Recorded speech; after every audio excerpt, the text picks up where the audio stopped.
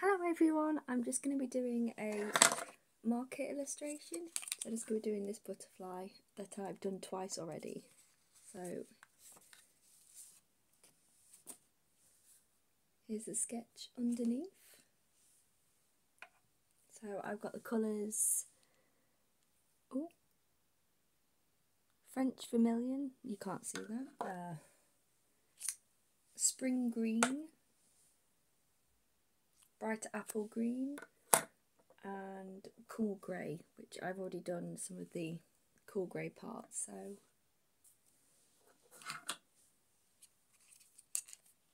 I'm going to start with the lighter green, which is spring green.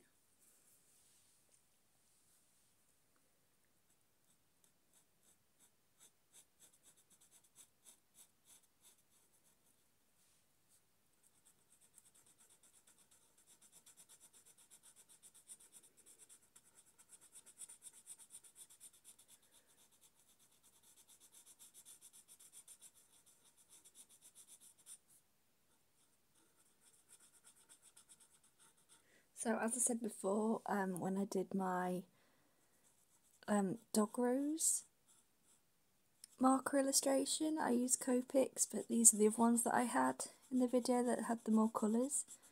And even I'm still new, I'm really loving them. I've almost finished um, the sketchbook that I'm using them in, which was a uh, it took me about maybe a month, I would say, maybe one and a half.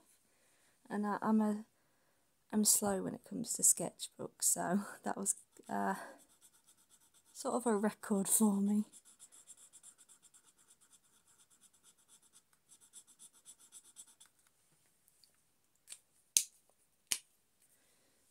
So it's got a, a brush a bigger brush tip on the other side, so I might use that to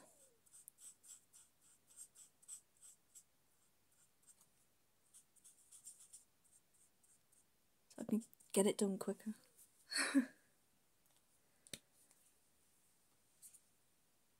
so then I'm going to use the darker green for like the veins and dark areas in the wings. Um, this isn't a, a tutorial or a how-to or anything. It's a basically just an illustration watching me practice with my pens, I guess.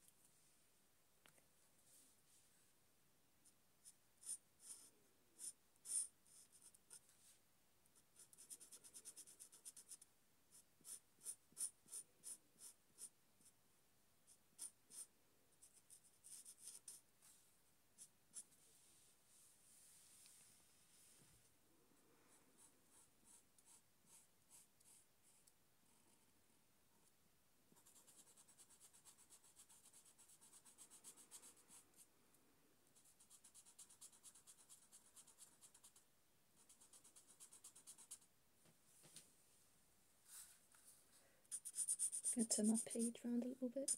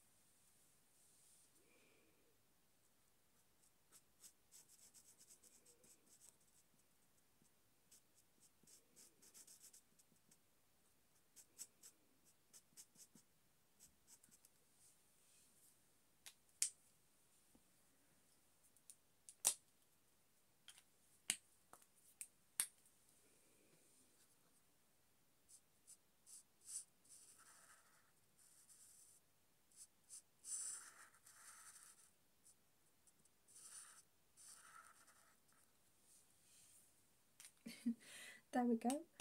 That is my finished my finished illustration. So move this out of the way. I now have three. I don't know which one's my favourite. They've all got different variations of things I've tried, but I hope you enjoyed watching and have a good day. Bye.